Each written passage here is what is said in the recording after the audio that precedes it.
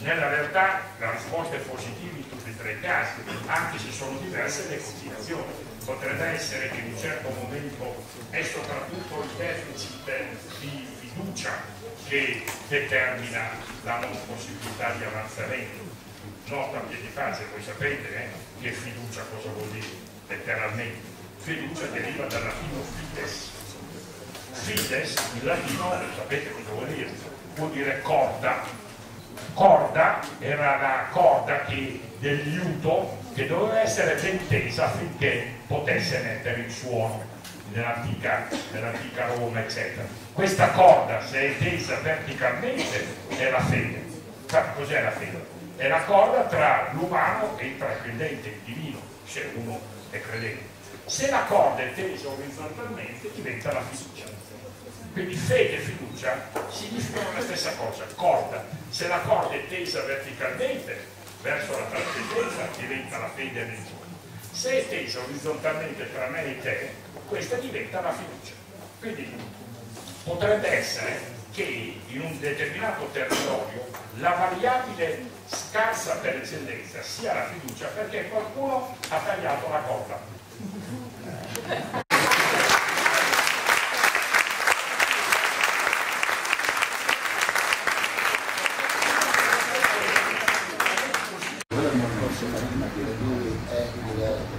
l'unione, l'unione dei cittadini sta creando un'allarme, una forza, il bisogno di essere autorealizzati Dobbiamo però...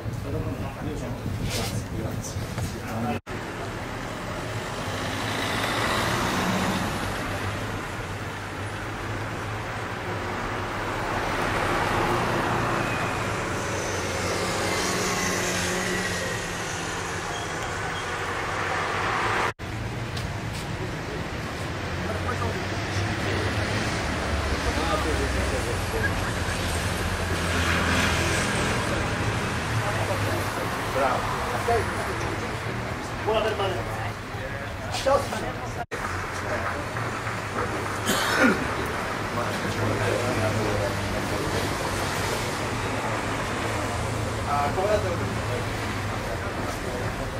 compito di indicarci i parametri sulla base dei quali determinare il là, quella che ho chiamato la dimensione espressiva, ne vedremo l'ipotesi di lui. Ecco allora perché su questo piano si deve mobilitare la società civile.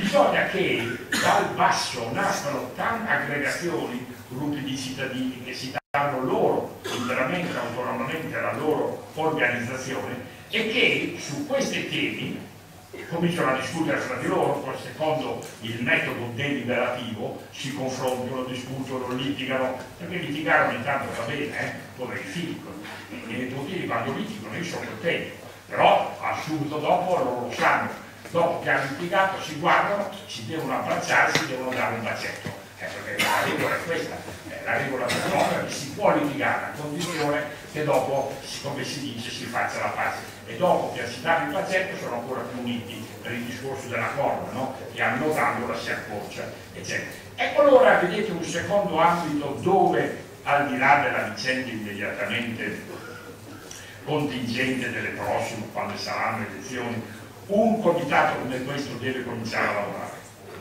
Eh, perché il comitato regionale, secondo me, ha da dire su questo. Voi potete formulare i vostre proposte si confronteranno con quelle di altri, di altri, eccetera. Ma voi non potete accettare che qualcun altro da Roma, si fa per dire da Roma, decida per voi cos'è il vostro benessere, il vostro star bene, cos'è la vostra felicità pubblica.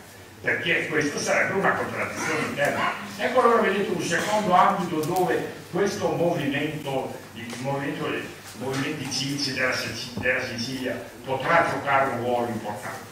Infine, un terzo ambito è quello che forse è più grosso di tutti, è quello che riguarda il cosiddetto modello di sviluppo. E tutti dicono dobbiamo re, reimpostare, rivedere il nostro modello di sviluppo. Benissimo. E cosa vuol dire concretamente? Definire modello vuol dire decidere una via piuttosto che un'altra. Via, è la stessa cosa di metodos, metodos in greco dire via, la via che conduce per gli antichi greci alla verità, cioè a una certa parte. E allora, la decisione sulle caratteristiche del nuovo modello di sviluppo, chi lo devono decidere? I burocrati o i politici che stanno a Roma, ma ci mancherebbe altro, perché lo sviluppo riguarda tutti noi, tutte le nostre comunità, non può essere, a meno che uno abbia delle simpatie dirigistiche di tipo dittatoriale o autarchico, e, e allora chiaro, si dà il compito al, dire, al comandante supremo di decidere lui. Questo non posso pensare che a qualcuno oggi vengano in mente queste cose. Ecco allora un terzo ambito dove il vostro lavoro andrà oltre la mera scadenza elettorale. Ecco perché non è solo un problema di di, di, di, dire siamo a un nuovo partito, è ridicolo, perché questa vostra iniziativa avrà e deve avere un orizzonte temporale di medio e lungo periodo.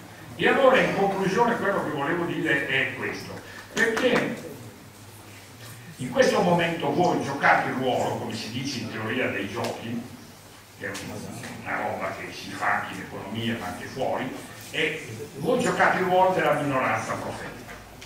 Tecnicamente si, si definisce minoranza profetica un sottoinsieme di una popolazione che, conoscendo le difficoltà di un tipo o dall'altro, eccetera, gioca una strategia che si chiama strategia cooperativa pur sapendo che all'inizio e per un certo lasso di tempo gli altri non la seguiranno o addirittura vi irrideranno, vi prenderanno in giro. E perché si chiama profetica? Perché vede lontano, gli altri non vedono lontano. Allora la minoranza profetica quando diventa maggioranza? Sotto due condizioni.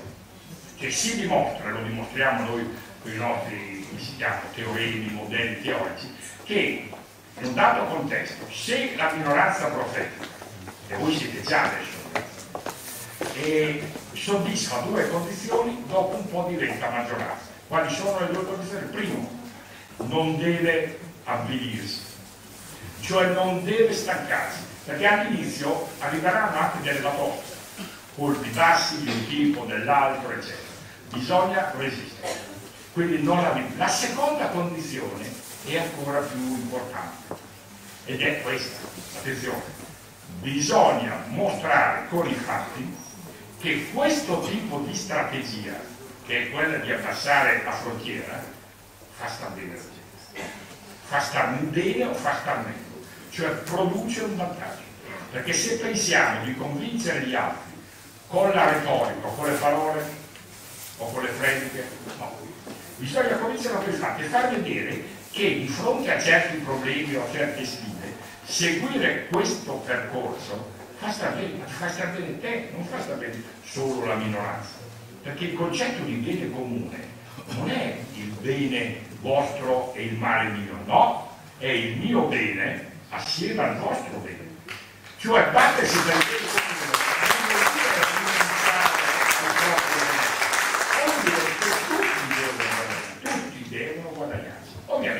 in proporzioni diverse, in forze diverse, eccetera. E molti pensano che il bene comune voglio dire che io mi sacrifico, quella è un'altra cosa, quella è la testimonianza dell'eroe, del santo, del martire e ci vuole. Ma noi non siamo in quel in quel Noi dobbiamo batterci per la strategia che fa vedere che procedendo in un certo modo, io non chiedo agli altri che non fanno parte di questo consesso di rinunciare, anzi dico guarda, e se tu segui questo cammino e vieni con noi, stai meglio tu, non solo stiamo meglio noi o altri, eccetera. Se queste due condizioni sono soddisfatte, state sicuri, datemi retta, la minoranza diventa maggioranza. E allora il gioco è fatto perché la frontiera si abbassa. Chiudo solo con questo, se posso dare un consiglio. Perché non date vita domani quando approverete i vostri documenti ad una scuola di formazione civile.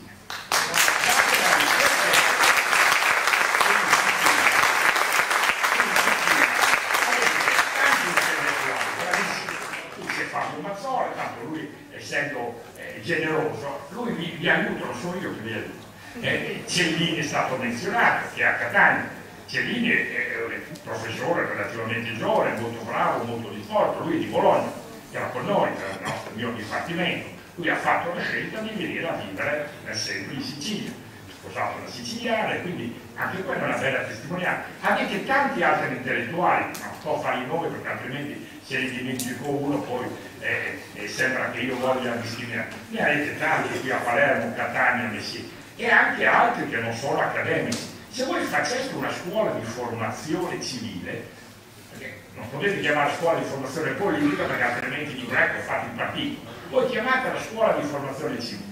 Tutti gli altri non sanno che cos'è, mi chiedono che cos'è, e vi spiegate.